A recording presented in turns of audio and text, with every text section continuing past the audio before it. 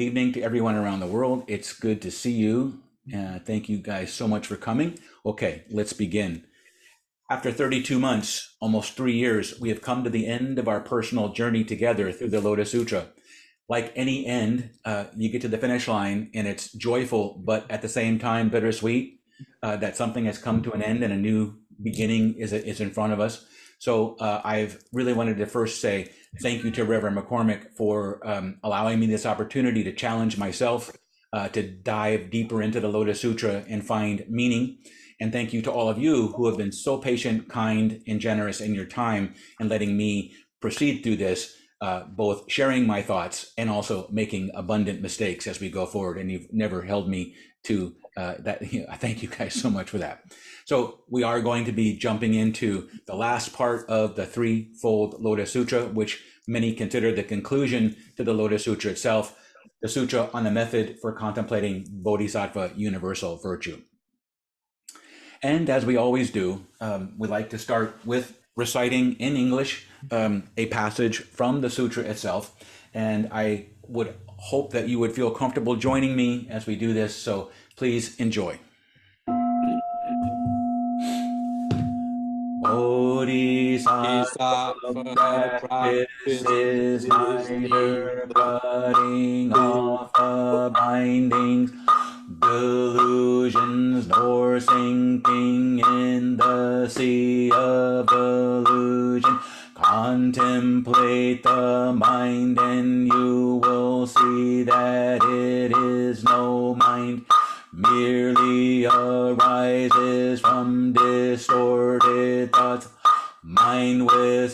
such attributes arises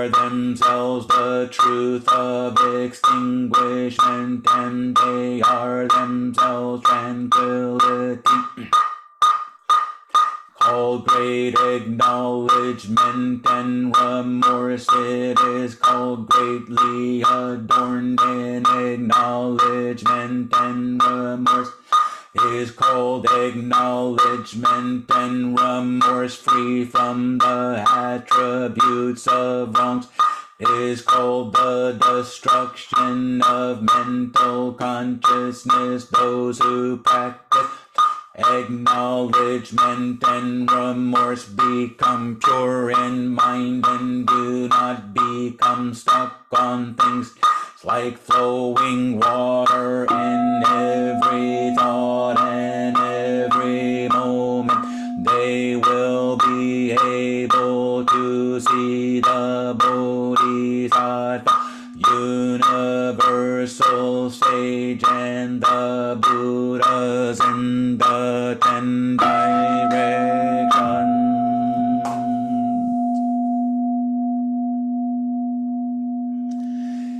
setting the scene. This sutra picks up directly from chapter 28.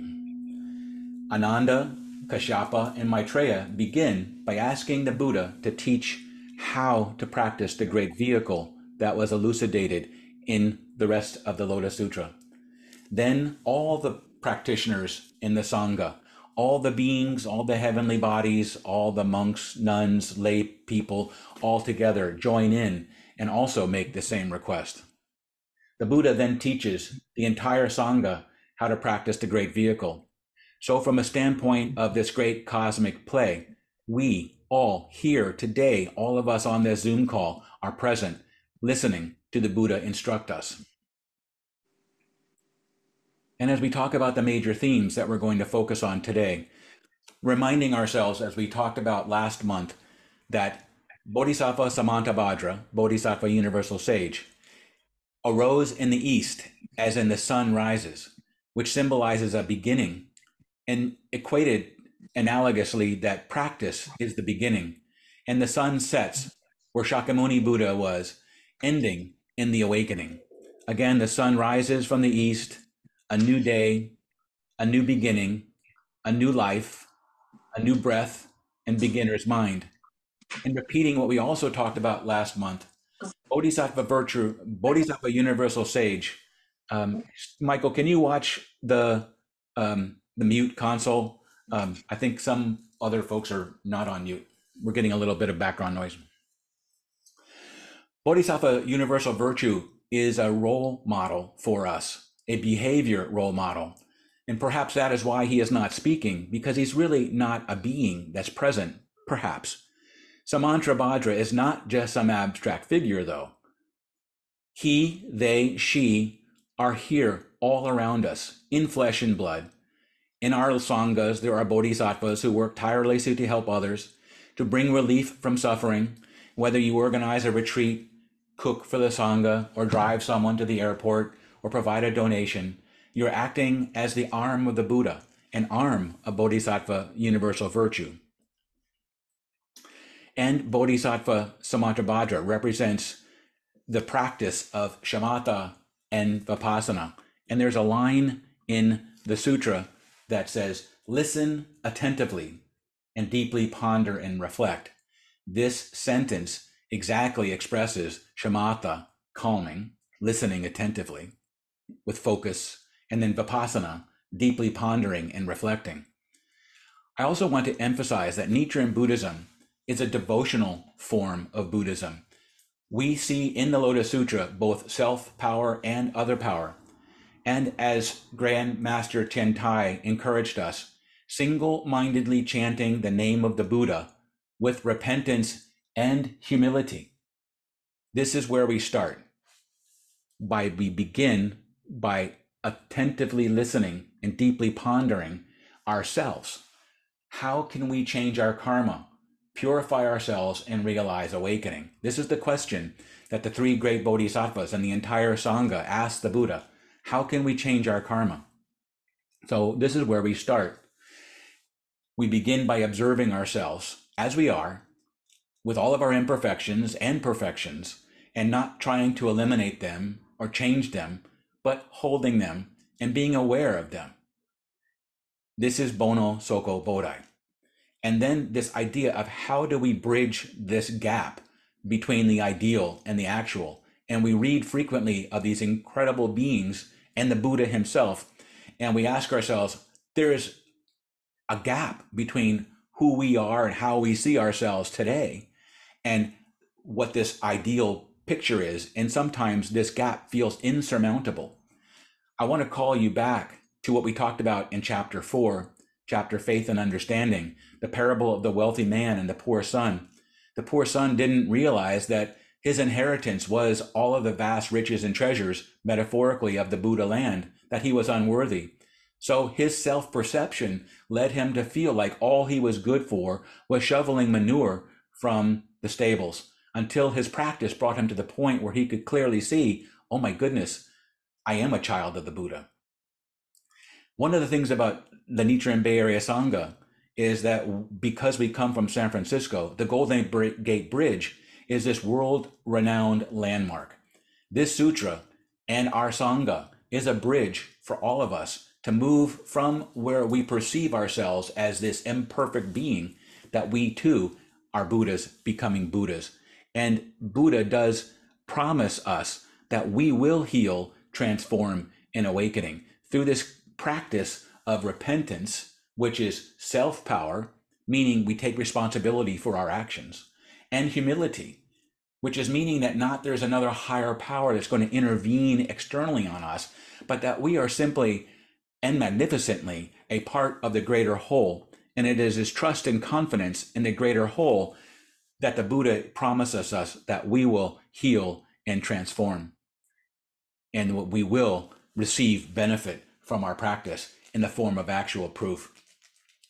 This is a long sutra, and a great deal of the sutra involves a practice called dream work, which is using our dreams to somehow let our subconscious come out and see what's going on. I want to stress that dream work, uh, a valid practice, requires working directly under the supervision of a teacher uh, who is trained in this. And this idea of dream work is completely beyond the scope of this presentation.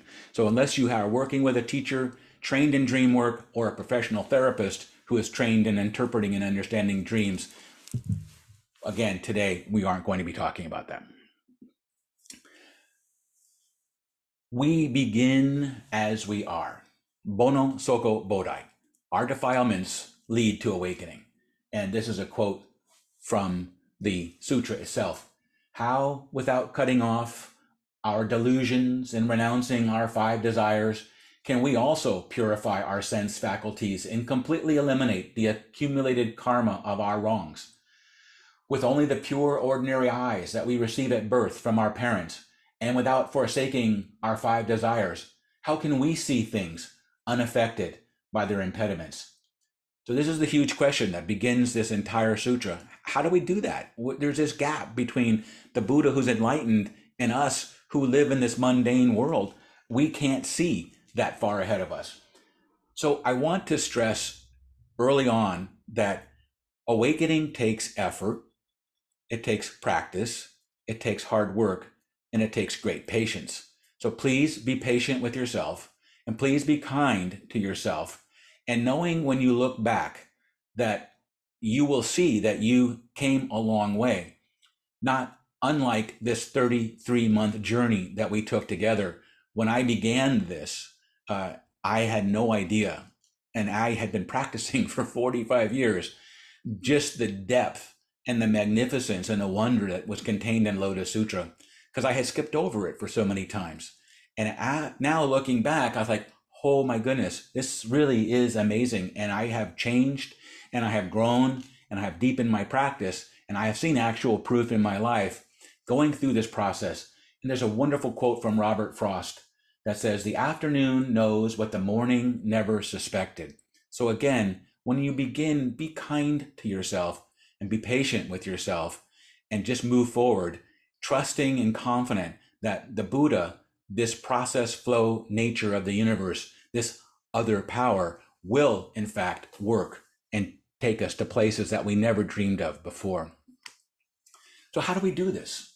Well, the sutra tells us exactly how to do it through our posture, mental and physical posture, that we knelt with palms placed together, attentively gazing at the Tathagata, never turning our eyes away when we're in front of the Gohonzon and we're looking at Namu Myoho Renge Kyo, our eyes resting lightly, focused and yet unfocused, as we just let our entire being rest upon the Dharma, the Myoho Renge Kyo, which is our raft, which is our solace, which is our sacred sanctuary, and just absorb the sound and the feeling of that in shamatha and vipassana.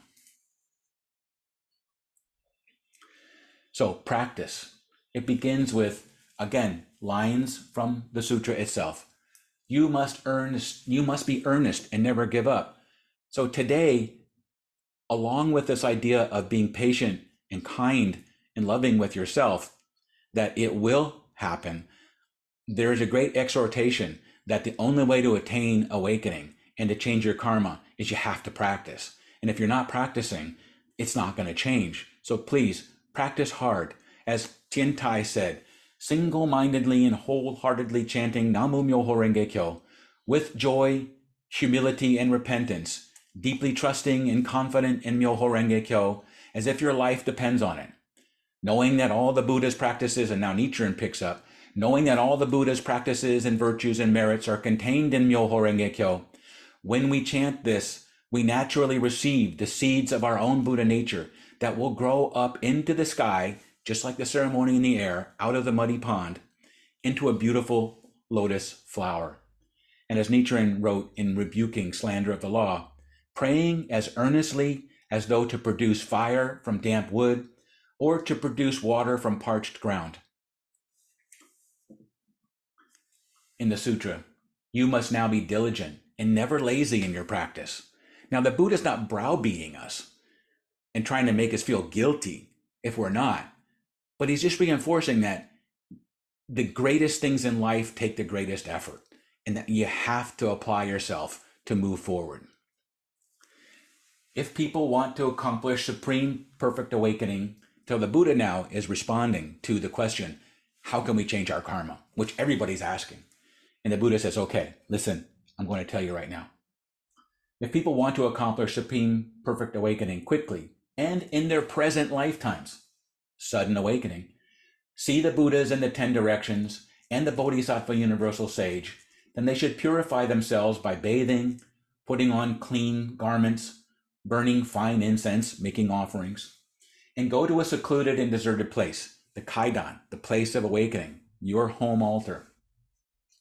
There they should recite the Great Vehicle Sutras and ponder the meaning of the Great Vehicle, Shamatha Vipassana. Having made this earnest request, the practitioner should bow to the Buddhas in the ten directions and practice the method of acknowledgement and remorse. They should read and recite the sutras of the Great Vehicle. They should ponder the meaning of the Great Vehicle and bear in mind the work of the Great Vehicle.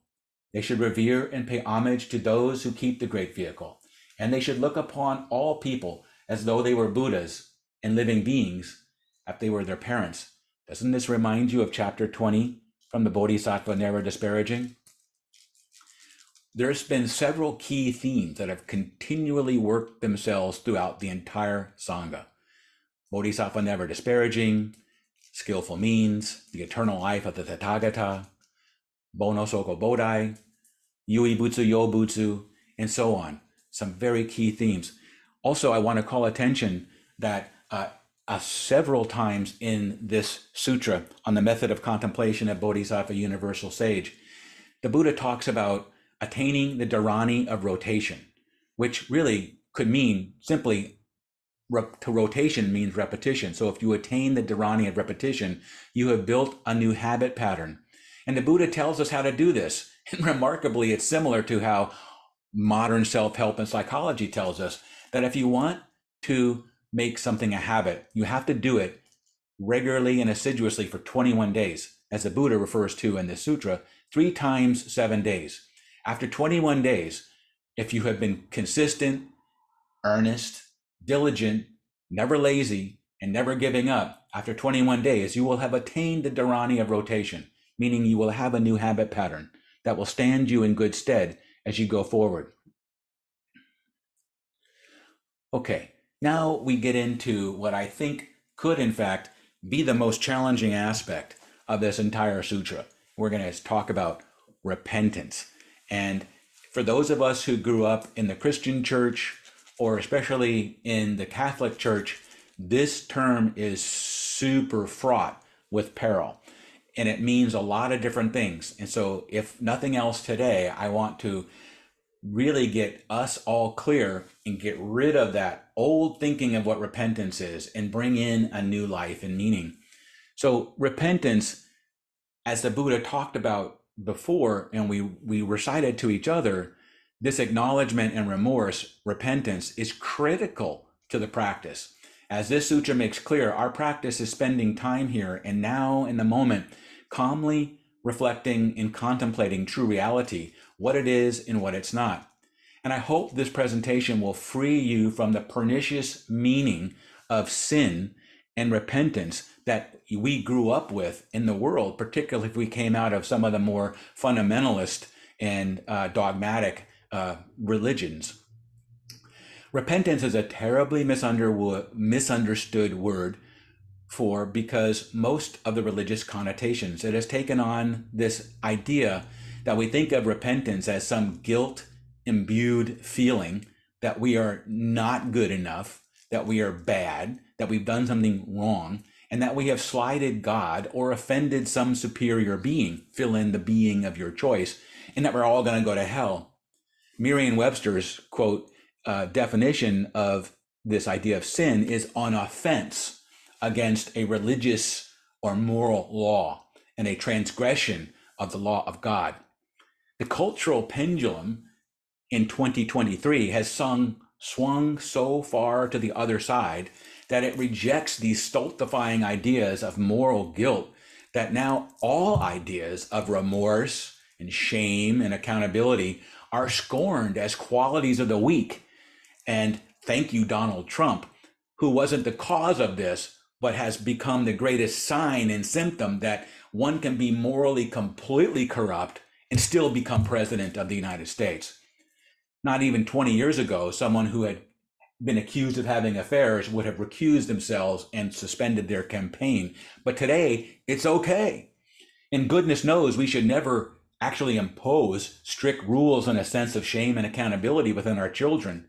The idea of millennial snowflakes comes to mind. You know, everybody gets a trophy and everybody gets a ribbon and everybody's a winner no matter what they do. But repentance in the true sense is not guilt, nor is it self recrimination, nor is it or should it be self pity. The ancient Greeks, so I want to say sin, first of all, let's get rid of that and let's think about a different word transgression. And the ancient Greeks used the word metanoia, which meant turning away, meaning a spiritual metamorphosis, a transformative change of heart. And this is an excellent way to look at this idea of repentance as a transgression, meaning a misdeed. Um, let's look at the definition from Reverend McCormick's forthcoming Nichiren Shu Buddhist Dictionary. The Sanskrit word is papa. The Sanskrit word papa can also be translated as offense or sin. It could be sin, but again, I'd like to avoid that because of the connotations that has taken on, particularly here in the West. It could be misdeed. It's the opposite of merit. So perhaps I'd like to offer you all this alternative way of thinking of sin, transgression, misdeed, and repentance Consider it instead reflection, the reflection of Vipassana from Shamatha Vipassana, an acknowledgement and a remorse for our past actions, and more importantly, false views, which we're going to get into in the next slide. So, remorse is also translated as misdeed, worry, regret, repentance. It indicates a state of emotional turmoil aroused by reflections upon past actions that may not necessarily lead to a real resolve to do any better. You're just guilt tripping yourself, as they say, and can even interfere with more positive actions because you feel like you feel bad and you feel like you're not worthy. Again, the poor son who thinks the only thing they're good for is shoveling manure. So it interferes with more positive outlooks and more positive actions and attempts to cultivate the mind. Restlessness and remorse together are the fourth of the five hindrances, which get in the way of our clear practice. Remorse is considered wholesome when it is remorse for the commission of an unwholesome action or for the omission of a wholesome action. It is considered unwholesome when it is remorse for the commission of a wholesome action or the omission of an unwholesome action. So we find here that the way Buddhists think of remorse is it's indeterminate meaning it can be either good or bad, depending on the context. So it's either wholesome if you are regretting doing something not good, or unwholesome if you're regretting that you did something good. So it really requires this analysis in your mind. Remorse can be either helpful or unhelpful. And remorse needs to be about the right thing and not clung to either. This sutra is teaching us that remorse is critical characteristic of practice. Now, for me personally, I think the greatest transgression one can ever do is to deny or thwart your own or someone else's Buddha nature. We go back to Bodhisattva, never disparaging. See how they really are. See again that there's these themes that weave themselves throughout the sutra. Now let's look at karma. Some consider karma determines everything in the present, leaving no room for free will that everything is predetermined by our past actions or our own fault. But really, karma really means action, and action can be either thoughts, words, or deeds. And karma is directly determined by one's intention. So if one's intention is good or one's intention is bad, determines the severity of the karma. Karma itself, action, thoughts, words, and deeds, again, indeterminate, like remorse, meaning it could be good, bad, or neither. You idea of the fundamental breakdown Buddhism into a soundbite. Buddhism is to do good, do no harm, and seek awakening for ourselves and others. Now, there's uh, da, da, da, okay. There's five different kinds of karma, and we talked about how some people think karma determines everything in the present. This mistaken idea undercuts any need to feel responsible for our actions or their consequences, remorse, repentance. It also leads to victim blaming, and that every bad thing that happens to somebody must be the result of their past actions. You see a homeless person, oh, it's their fault. Someone gets cancer, oh, it's your fault. Oh, you're, you know, you, you're mentally ill. Oh, you must have done something to somebody in the, in the last lifetime, and it's your fault. Unfortunately, many people, even some Buddhists, believe that this is what the Buddha taught. However, this is completely untrue. The Buddha's general theory of dependent origination is as follows when this exists, that comes to be. When the arising of this, that arises. When this does not exist, that does not come to be. With the cessation of this, that ceases. This means that all things come to be only due causes and conditions, cause and effect, and have no inherent existence in and of themselves. These causes and conditions operate according to these five different modes of natural law, of which what most consider as karma is only one of the five. And all five interact with each other in order to bring about life as we experience it. The Buddhist monk Nagapriya, in his book, Exploring Karma and Rebirth, which I highly recommend, and it is on our website, uh, the link to the Amazon book, classifies karma based on the sutras that there are five modes. One is physical or inorganic, two is biological, three is non volitional, Four is ethical, and five is spiritual. The physical inorganic embraces natural laws such as those of physics and chemistry. For example, seeking an explanation for the occurrence of an earthquake, like we just saw, terrifically horrible in Turkey and Syria, we're better served to think about the theory of plate tectonics than by the theory of karma that those poor people in Syria or in Turkey did something in a past lifetime that resulted in their house falling upon their head and killing them. So that's just nonsense. So it's better to think of plate tectonics, physical and inorganic. The biological, number two, governs the physical organic order, including the laws of biology. For example, if I catch a cold, it would seem more sensible to explain this by supporting the presence of a virus rather than I did something morally wrong to, catch a cold. The non volitional, number three, governs the law of the mind and to some extent relates to psychology as we think of it today. For example, the phenomena of shock or post traumatic stress or even mental illness. The ethical mode, now this is what people traditionally think of as karma, governs the sphere of volitional human conduct and is looking at this slide again thoughts, words, and deeds. What is our intention behind them? That's only one of that. The spiritual mode, in conclusion of the five, could be thought of as a process by which we transcend greed, hatred, and ignorance and achieve generosity, compassion, and understanding. It could also be seen as the compassionate influence that other another person exists in our life. The impact of the Bodhisattva Universal Sage on us and the world. The Bodhisattva Universal Sage does not act toward others in accordance with their karma but deals compassionately with everyone regardless of their karma. That's so they're doing it to us because their love and mercy and compassion is so strong. It's not our karma that created that. It coming from the outside. Other power.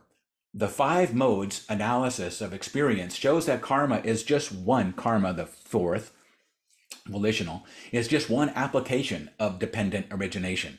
Therefore, many circumstances and outcomes are likely to be governed by conditions only very indirectly related to one's karma itself. But we should beware of seeing these different orders of conditionality as completely discrete. Every experience comprises a vast network of causes and conditions, which we can't see. Our previous moral conduct will often have a bearing on our present experience, certainly, but in many situations, non moral factors may well exert a more decisive influence. The teaching of the five modes thus presents a more complex and subtle account of why things happen as they do than a crude, egocentric view of karma that everything that happens to me is my fault. We need to remember that the actions of other people may be more decisive in any given situation than our own karmic stream. It may be their evil or their goodness that causes us to suffer or benefit rather than our own. So hopefully we now have a better understanding of karma and how repentance is not guilt, but is reflection. Uh, Reverend McCormick, I see the chat has a lot of things in there. Have you already dealt with the answers, um, or should we pause for a moment? Yeah, let's let's pause for a moment. Um, let's see. Uh, Stephen is wondering what this has to do with lessening karmic retribution. Um, I think we should uh, maybe save that for a little further down. And um, yes, uh, John Martyr was asking, Nichiren seemed to attribute all natural disasters to lack of faith in Lotus Sutra, not perhaps physical conditions. Um, I'll just address that real quickly. Um, that actually, I can address both of those real quick. um, Nichiren does emphasize the karmic aspect of natural disasters and wars and other things. Um, and, and, as Mark said, these these five types of causality uh, do interrelate. And of course, Nichiren was a medieval person, so he did not know about plate tectonics and things.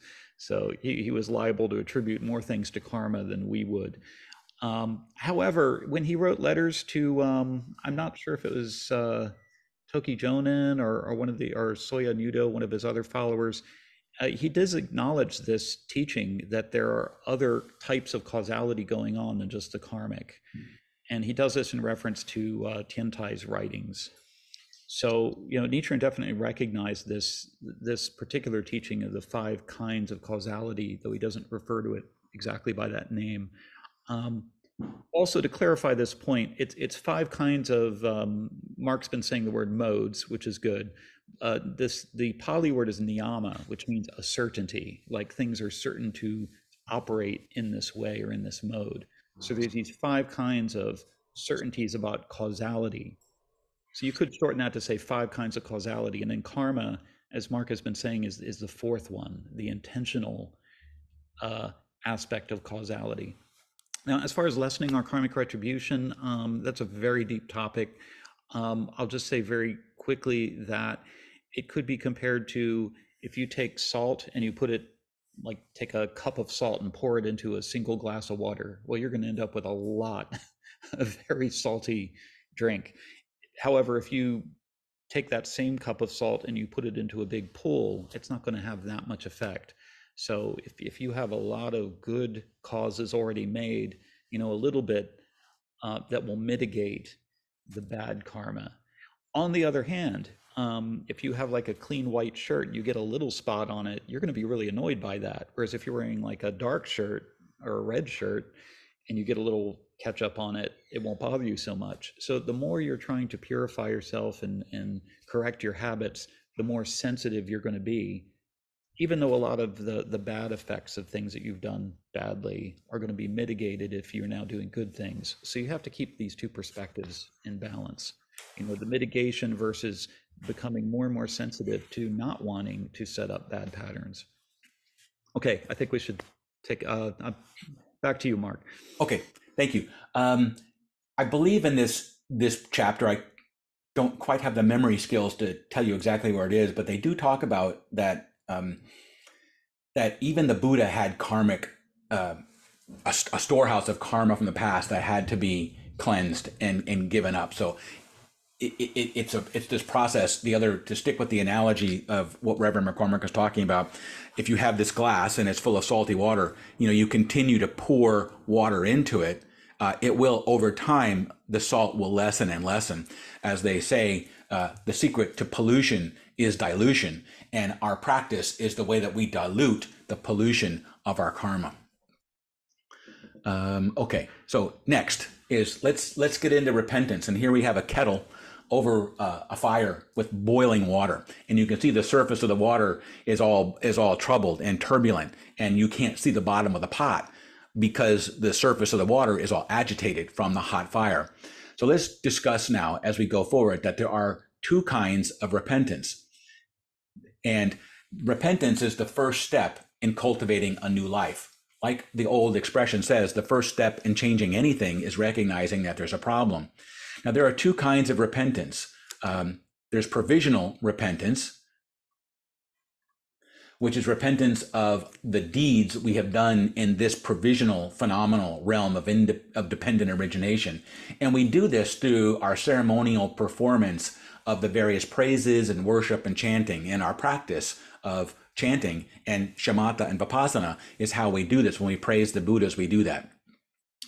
This is this idea that unwholesome karma is produced by ignorance, avidya, of the three poisons of greed, anger, and delusions and the light of wisdom, prajna, extinguishes them. As a Buddhist treatise says, the discriminative mind producing unwholesomeness is like clouds covering the sun, and the clear, wise mind is like the bright light dispelling the darkness.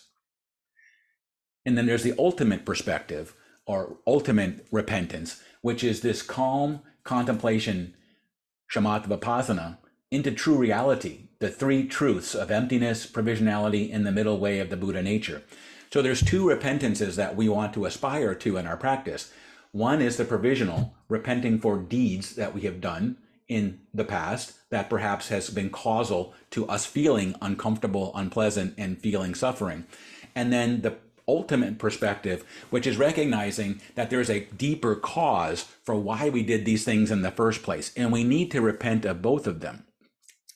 If we persevere in our practice, doing our best to live a wholesome life by reflecting on our actions and taking accountability, over time the unwholesome karma fades away. Answering Stephen's question, even the Buddha had karma that he had to expunge. When Devadatta rolled the boulder down and broke his toe, well, you know, Devadatta was again acting on the Buddha, but the Buddha had a little karma there too that he was still expunging. And as Michael says, you have a glass of salty water, you pour continuously pour fresh, pure water in. Over time, the water will become completely clear and and and and sweet and drinkable. So I wanted to also um, quote from the sutra. The sutra says, if you want to perform acknowledgement and remorse, you must sit correctly and contemplate ultimate reality. Let's parse that a little bit. So you want to have remorse you have to sit correctly, which we learned in the previous slide was kneeling with our palms together, eyes never leaving the the the Buddha. And this idea of contemplating ultimate reality. So when we're chanting Namo Myoho Renge Kyo, we're practicing shamatha vipassana, calming and contemplation. Goes on, all wrongs are just as frost and dew, so the sun of wisdom can melt them away. Therefore, with utmost sincerity, perform acknowledgement and remorse for the six sense faculties which have caused the suffering to arise. And acknowledgement and remorse is repentance, perform is practice. Sincerity, of course, is we have to be sincere about it. Now, to repeat for emphasis, no amount of repentance for past provisional actions will work unless one also clears and quiets the mind through practice. As transgressions originate in our mind, they disappear when the mental functions and processes which cause transgressions quiet. Unwholesome karma continues accumulating as long as greed, anger, and delusions remain. This is like attempting to cool hot water boiling in a pot by adding a little bit of cold water, similar to the analogy of a salt glass, leaving the fire burning hot under the pot. Ultimate repentance is done by awakening to the true nature of reality, shoho jiso, thereby eliminating the defilements and delusions at their source, one's discriminative mind. To liberate ourselves once and for all, we should do both forms of repentance, provisional actions and false views. Our practice becomes like pouring huge amounts of cold water into the boiling water and extinguishing the burning fire underneath. So, going back again to repentance. In the presence of Buddhas, you should now disclose your previous wrongs with utmost sincerity, acknowledge and express remorse for them. The Buddha addressed Ananda, saying, To practice in this manner is called acknowledgement and remorse. This acknowledgement and remorse is the same method of acknowledgement and remorse practiced by the Buddhas and great bodhisattvas in the 10 directions. So everybody does this in order to become enlightened. This is how we practice. This is the aspect of self power. We have to do the work. Now we bring in the aspect of humility, which is other power. Then the Buddhas and the 10 directions will extend their right hands, lay them on the heads of the practitioners, and speak thus Good, my good children, good, you now read and recite the great vehicle sutras, and therefore the Buddhas and the 10 directions will expound the method of acknowledgement and remorse. So now we get into other power, meaning that we have the humility to know that while we have to do the work on our own, there's no way we can do it by ourselves, which is why we get into the Sangha and the Dharma and the Buddha. We need these three things outside of ourselves in order to have the spiritual strength and the wisdom and the great spiritual merit to be able to really fully look at ourselves and not criticize or judge ourselves for our failings, but to be there and to look at them honestly, clearly, and deeply and hold them like a mother holds a crying baby, not to eliminate them. We start with where we are, but to hold them in awareness and that light of awareness, that sun, will melt them like dew in the morning grass. So now we get into the tenfold practice. Now we're five minutes over. I want to pause. We're we've got oh I don't know six or seven slides left, uh, and I see a lot of chat bubbles. Reverend McCormick, are there questions that we want to take a moment to ask, and then should we keep going, or maybe just have part two next week? I think we should just keep going. Um, Okay. Any if we only have questions? Five sides left. Um, Josh asks, um,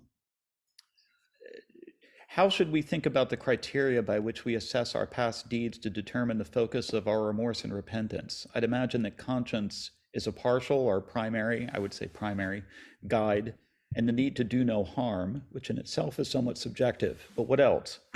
Nichiren Buddhism maybe maybe places less emphasis on particular precepts, so it feels potentially tricky. Yes, exactly. I totally agree with you. Um, Nichiren Nichiren does, in brief, talk about um, the five precepts uh, to not kill, not steal, uh, not commit sexual misconduct, not lie, not to indulge in intoxicants as um, if you refrain from those, that's the kind of karma that leads to rebirth in the human realm, right? So by itself, that will not get you enlightened, but at least you will be in the human realm and not falling lower. Then there's the 10 courses of wholesome conduct, or the so called 10 good deeds, um, that will lead to the heavenly realms, right? Um, so these are, in brief, abstain from killing, abstain from taking what is not given, abstain from sexual misconduct, abstain from lying, abstain from malicious speech, abstain from harsh speech, abstain from idle chatter, abstain from covetousness or greed, abstain from ill will, which is hatred or, delu- or anger, and abstain from wrong views. Uh, this, by the way, is just an ethical breakdown of the Eightfold Path. Um, by themselves, without that insight that Yugan talked about in the previous slide, you can only get into the human or heavenly realms, right? But if you're not doing these things, you're creating the karma for the lower realms among the six realms. So this is basically the Buddhist ethical criteria right there. And then you just add to that the motivation to um, work compassionately for the liberation of all beings and to um, and to cut through all attachments, uh, which is indicative of the four noble realms or the four higher realms. And that's basically your ethical criteria right there. And um, and again, Nichiren also refers to these five precepts and ten courses of wholesome conduct, but um, he he uh, makes it clear that by themselves that only leads to the human and heavenly realms. But without them, you will fall to the lower realms, which makes it even more unlikely that you will get into the four noble realms. But the daimoku, he says, will pull you up through all that, right? The daimoku itself is a form of repentance that helps you to turn things around and turn your attitudes around so that you're no longer indulging in that kind of thinking and attitudes and conduct. Uh, and that's it. And then uh, Stephen asked, is this partly a link to Eshofuni? Well, yes. Um, of course, our our um, our causality merges with those other four forms of causality, and then that creates the world that we live in as we experience it. Um, and that's Eshofuni right there. You know, there's there is a continuity between our uh, thinking and our conduct and our environment, and of course between all of us together, creating a common environment. Okay, back to you. Wow, awesome questions. Um, I'd like to just stick with this idea of the precepts. Um, and it's neat, you know, this is one of the areas that I think Nietzsche and Buddhism um, dangerously gets wrong. Um, as Reverend McCormick said, we as Nichiren Buddhists don't practice the precepts to become awakened um, because A, that creates a duality in between us and awakening. And that even just by practicing the precepts, all we're really doing is guaranteeing better circumstances in the human realm. So to become really awakened, we have to go deeper than that. Uh, Dogen also felt the same way. Um, he flipped it as to instead of not killing, non killing. And where he supported, I think, Nichiren's view is that our primary precept is upholding the daimoku because when we're practicing we're not committing any of the five precepts because we're sitting palms together gaze on the eternal buddha chanting so we're not hurting anybody we're not stealing anything yeah. we're not doing any intoxicants etc etc so our simple practice of chanting in fact is doing all five precepts at once but what happens then is that the five precepts naturally arise as expressions of our practice. So, as I've said several times in previous lectures, our following the precepts is not the cause for enlightenment. Our following or being examples of the precepts is the cause, is the effect, the actual proof of our practice. Mm-hmm. We spoke earlier today about Samantabhadra being a behavior role model, not an actual being. Samantabhadra's practice in this sutra is described as a tenfold practice. In other Mahayana traditions, at times this has been five or seven or even 12. The number of steps is really not important. And as Tiantai said, it's kind of arbitrary, but it's a good model. Um, and we're going to be looking at this in this context of self power and other power. So as we go through, and I'll start to speed up a little bit. This is the last long slide, by the way. Um, there were the 10 steps that are contained within this sutra are paying homage to the Buddhas, praising the Buddhas, making offerings, donations, dana, repenting from our transgressions, rejoicing in others' merits, requesting the Buddhas to teach, requesting that they remain in the world, following the teaching, complying and accommodating the needs of sentient beings, skillful means, and then transferring all this merit. Now, merit is spiritual energy to the sentient beings for their benefit. So we begin by offering respect to all Buddhas by bowing.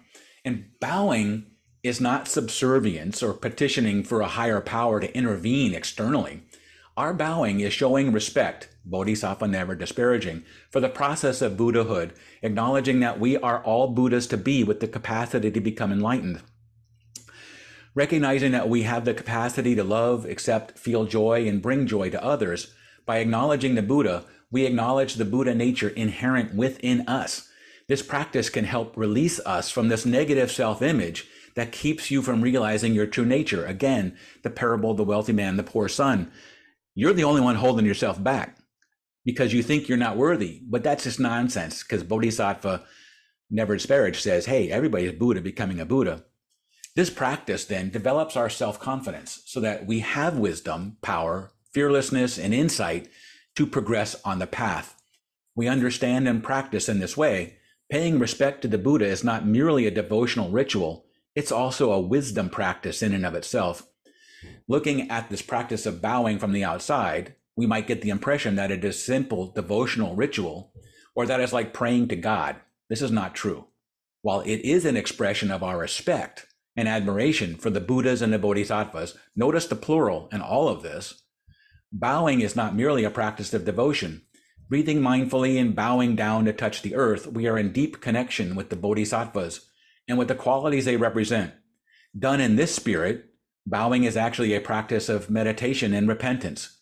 We get in touch with understanding, compassion, action, and we see all living beings as the object of our awareness and love, which is why the Gohonzon that we look at has all 10 worlds on it.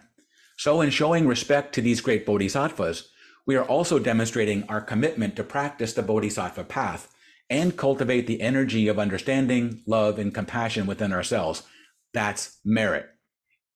When we praise the Buddha's great understanding and wisdom, we touch those same virtues within ourselves as seeds in our storehouse consciousness.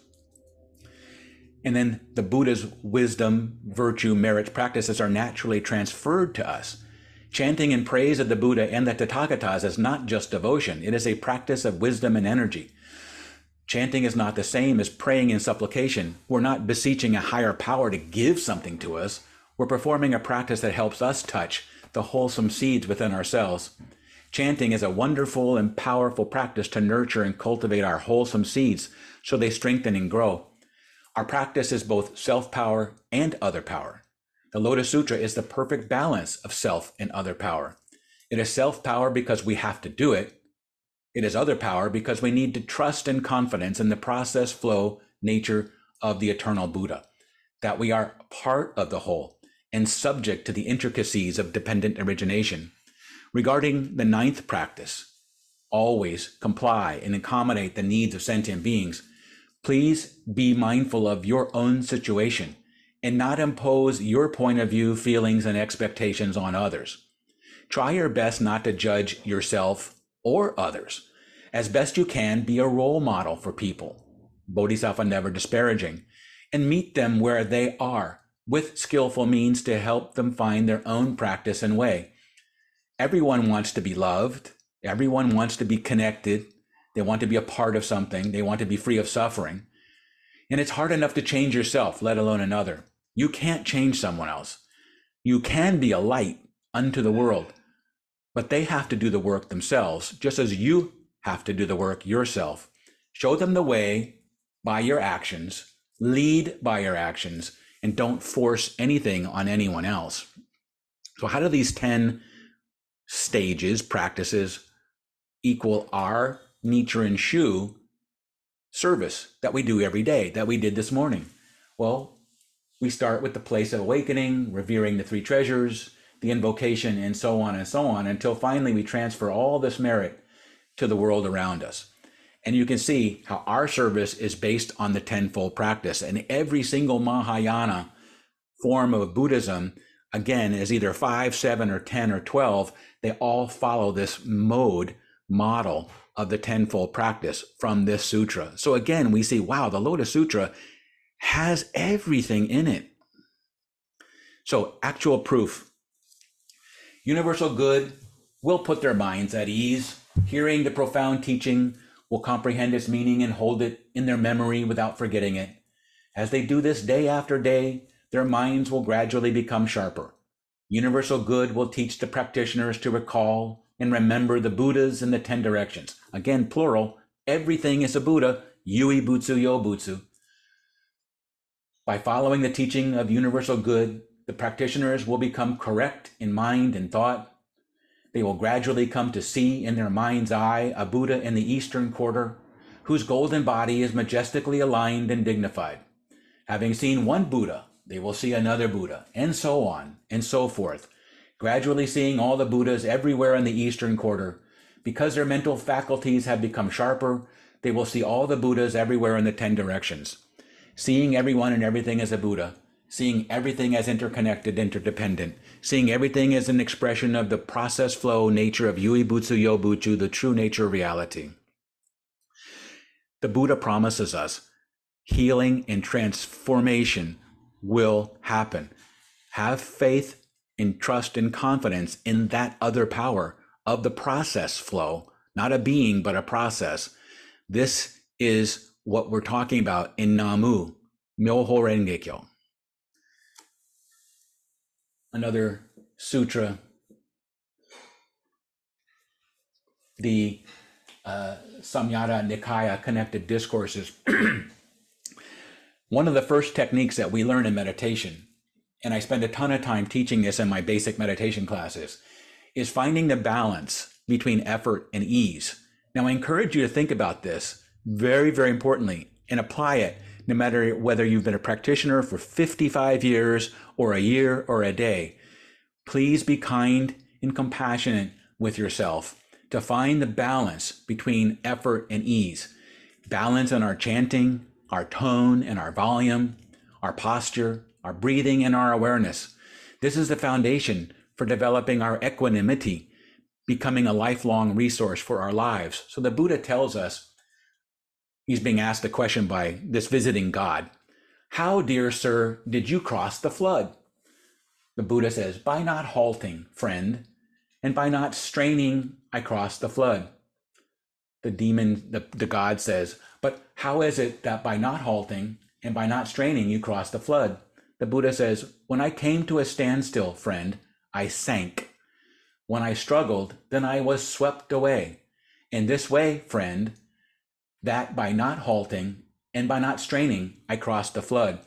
This is the meditation instruction so clearly to find the ease between the balance between effort and ease in your practice of chanting. And as we teach, when you feel like you're sinking, you focus on your nose. And if you feel like you're you're being swept away, you focus on your belly. Equanimity. What is equanimity? It's not tranquility. Equanimity is being calm when one is uncomfortable. Our practice of repentance is the same. Not too much, not too little. Be like Goldilocks. A bit of reflection and remorse with a bit of humility that we can't do it all on our own. We need each other. We need the Buddha, the Dharma, and the Sangha. We need this perfect balance between effort and ease, between self power and other power. What does this sutra mean to us? First, become your true self. Be like Samantabhadra. Practice. Without practice, there is no awakening. Find that perfect balance between effort and ease and knowing that this is a practice, it's not a perfect, and you will explore this balance between effort and ease the rest of your life. I promise you, you will always be looking at this. Embrace it. Accept yourself right now, good qualities and bad qualities. There is a gap between the actual and the ideal, but that gap is the ideal in and of itself. Accept it. Take responsibility for your actions. Some of the things some of your sufferings do come from misinterpretation of the eternal reality, true life, which is observing that you're part of the whole. Have trust and confidence in this process flow. Words. So we're, we're just about done. And I want to close with, I think, the perfect way to sum up the last 33 months. Genkai eren bo nisho katsugo shin shujo kishin buku shichijiki inyu nan ishin yoko ken butsu fuji shaka shinmyo jiga gyu shusoku shuturyo jusen gaji go shujo jozai shikumetsu all who cherish and long for me look up with thirsting hearts. At last, when living beings humbly believe, are upright in character and gentle and flexible in mind and wish with all their hearts to see the Buddha even at the cost of their lives. Then I and the Sangha appear together on divine eagle peak. At that time I tell all living beings that I am always here and do not pass away.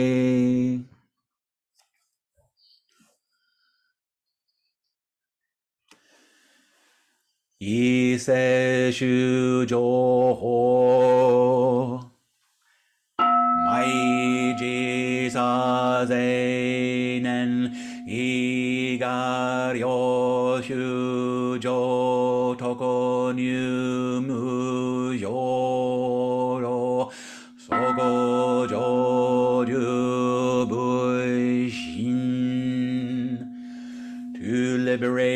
Each of them accordingly, I am ever thinking, how can I cause living beings to embark upon the unsurpassable way and quickly accomplish embodiment as Buddha?